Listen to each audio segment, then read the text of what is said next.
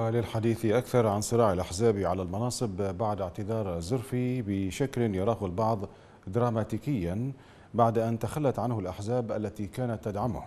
وتسمية الكاظمي لتشكيل الحكومة ينضم إلينا عبر الهاتف من إسطنبول الكاتب والباحث السياسي السيد نظير الكندوري. أستاذ نظير بداية مرحبا بك. الكتل الشيعية تتفق على تنحي الزرفي وترشيح مصطفى الكاظمي بدلا منه لرئاسة الحكومة.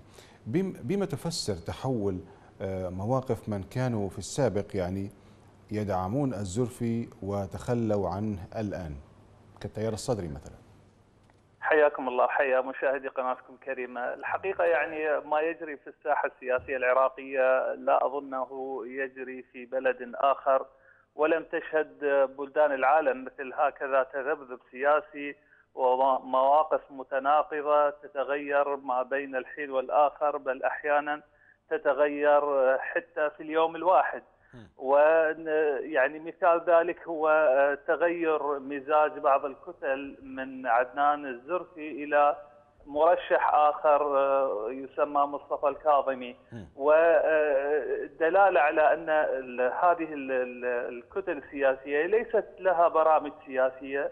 وليست لها يعني وجهة سياسية تمضي باتجاهها وليس لديها مشروع لبناء هذا البلد إنما هي مواقفها عبارة عن اتفاقات على مصالح مرحلية تخص كياناتهم السياسية أو يعني الاستفادة الشخصية لرموز هذا الحزب أو هذه الكتلة بينما تبقى مصالح الوطن ومصالح الشعب العراقي هي آخر أولوياتهم وإلا ما هو التفسير على التغيير الحاصل ما بين يعني هذين الشخصيتين بالرغم طيب. من إن الشخصيتين يعني تتشابه في بعض الصفات. الزرفي في أول تصريح له بعد التنحي قال إنه لم يجد من يدعمه لا في الداخل ولا في الخارج. يعني من برأيك ينتظر الزرفي اي جهة مثلا أن تدعمه وفق هذا التصريح؟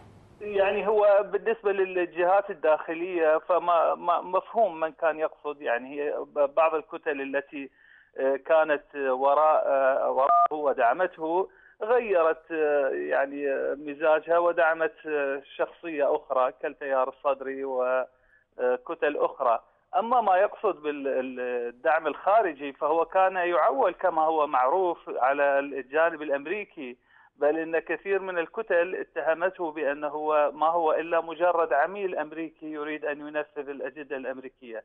ومن كلامه هذا هو يقر بأنه هو شخصيا ومن يأتي غيره من الشخصيات الأخرى التي تستلم هذا المنصب لا يمكن له أن يصل إلى هذا المركز إلا بضوء أخضر خارجي يبيح له الوصول إلى هذا المنصب.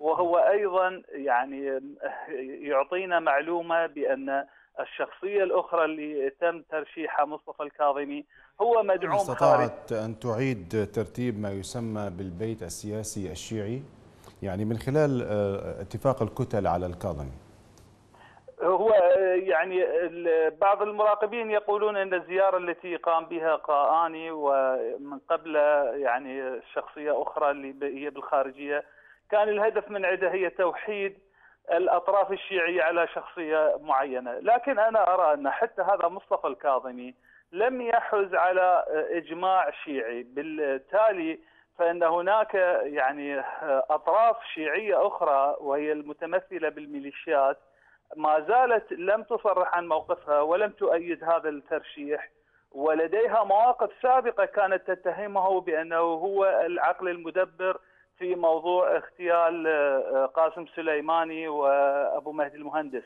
وبالتالي أنا ما أرى أن مصطفى الكاظمي هو الآخر سوف لن ينجح في الوصول إلى رئاسة الوزراء. نشكرك شكرا جزيلا من إسطنبول الكاتب والباحث السياسي السيد نظير الكندوري.